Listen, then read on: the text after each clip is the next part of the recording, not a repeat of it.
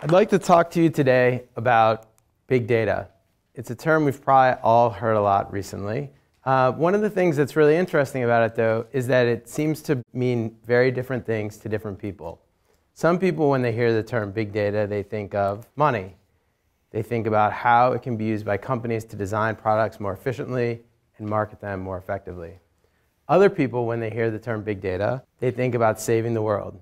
They think about how governments and NGOs can use this new kind of information to help solve important social problems. Some other people, though, when they hear the term big data, they think of surveillance. They think about all the enormous amounts of potentially very sensitive information that's being collected about all of us all the time. But for me, when I think about big data, I think about something different. I think about a urinal. So this, though, as you all recognize, is not just any urinal. This is a very, very special urinal. This is Fountain by Duchamp. This is one of my favorite pieces of art. And what I love about this is the way that Duchamp took something that was created for one purpose and then repurposed it for something else. And it turns out that this idea of repurposing is central to the way that scientists learn from big data because most of the big data sources that exist were created by companies and governments for reasons other than doing research. And so scientists have to take data that was created for one purpose and, like Duchamp, repurpose it for something else. And this is actually really different than the way social scientists have gone about learning about the world in the past. And if I had to pick one piece of art that could illustrate this sort of more traditional style of social science research, it would be David. So when Michelangelo wanted to create David, he didn't look around for a piece of stone that kind of sort of looked like David. He spent three years working to create David. And so this illustrates really the two styles of research that we see right now. There's a ready-made style where researchers Duchamp-like take data that was created, let's say by Twitter or Facebook, and repurpose it for research. And then there's the other style where researchers create their own data using like surveys or experiments. But increasingly what we're going to see is that there are limits to both of these pure approaches. The Duchamps will discover that there are things that you can't learn just by repurposing data. And the Michelangelos will increasingly feel like they're being inefficient and wasteful by not taking advantage of all the ready-made big data that exists. So I think the future of social research is a hybrid of these two strategies. It's going to be part ready-made and part custom-made, and that's going to allow us to do things that we could never do before with either of these pure strategies. So let me give you an example of a beautiful piece of research that illustrates this hybrid strategy. This is a study that was conducted by Josh Blumenstock and colleagues, and it was published in Science a few years ago. Before I tell you about what they did, let me tell you a little bit about the problem they were trying to solve. Let's say you want to eliminate poverty in the world. So that's a goal that I think many of us would share. Uh, but one of the many, many, many problems you would encounter on the way to that goal is that it's actually hard to know where poverty is and how poverty is changing over time. Now, this may be kind of a surprising thing for people in wealthy countries because we happen to live in countries where, for example, in the US, the national statistical system collects reliable and accurate information about our society. But in many of the world's poorest countries where this information is most needed, it's not collected. And so this is a challenge for policymakers because they're essentially trying to operate in the dark. They, they can't know where the problem is, which makes it hard to target the resources effectively and it's hard to see how well they're doing because they can't measure the outcomes. And so many, many people have worked on the problem of improving measurement of poverty, but Josh Blumenstock and colleagues took a different approach.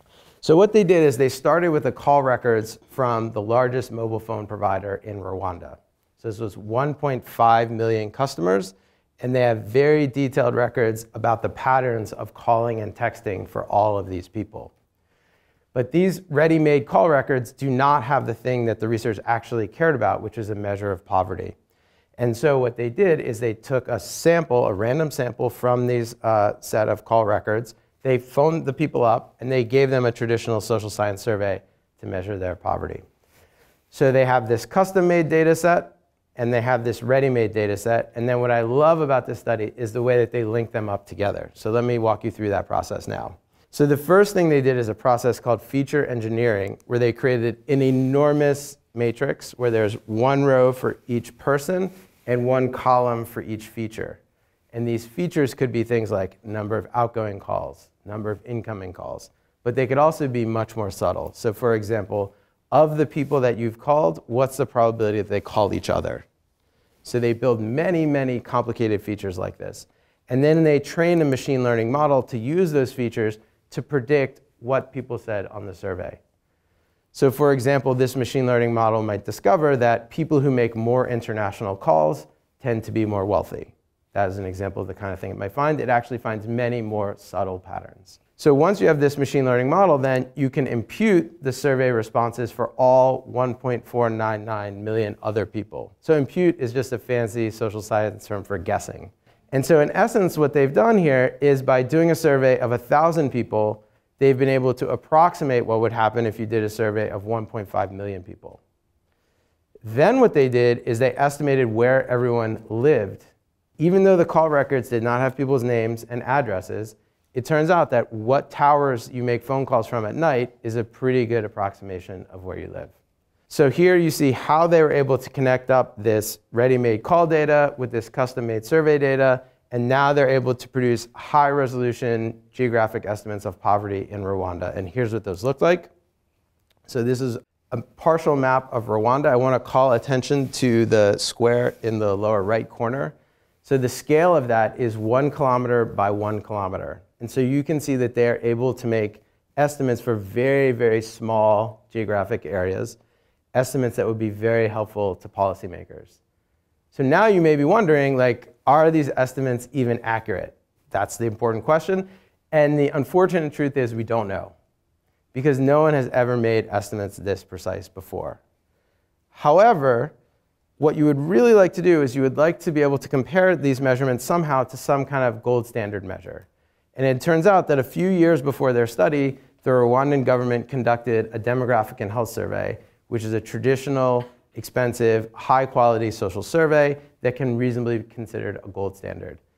So the Demographic and Health Survey was not able to produce estimates at this small of a geographic level, but it was able to produce estimates for the Rwanda's 30 regions. And so what Blumenstock and colleagues did is they aggregated their estimates up to these 30 regions, and they produced a map like this. So on this map, darker colors indicate higher levels of poverty.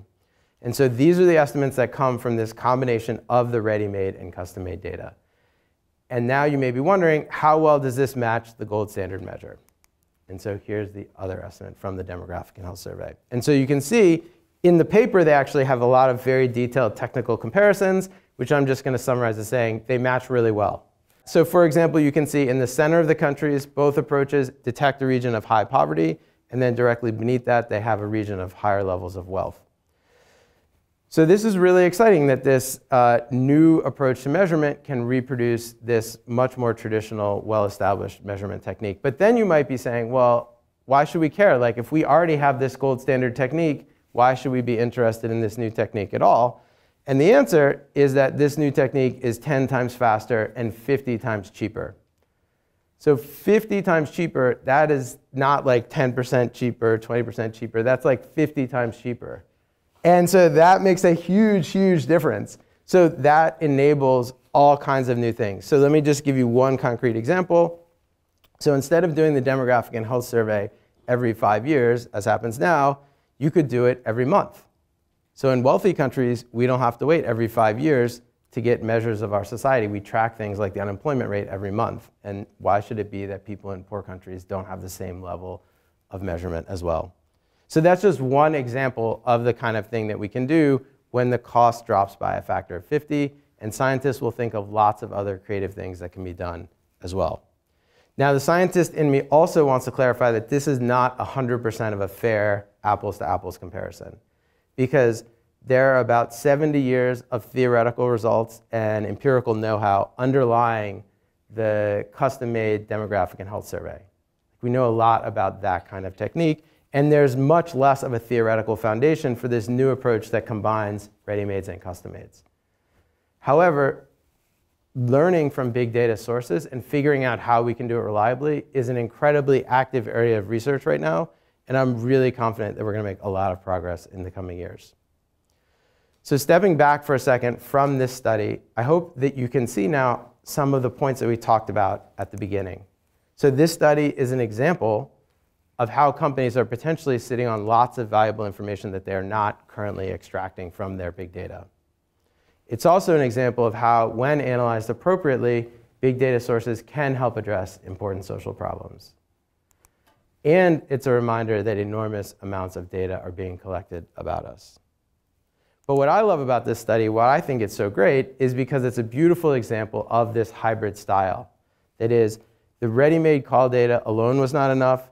The custom-made survey data was not enough. It was only through the combination of these two things that they were able to accomplish this goal. And so I hope that the next time you hear the phrase big data, this will be what you think of. because this is the future of social research in the digital age. Thank you.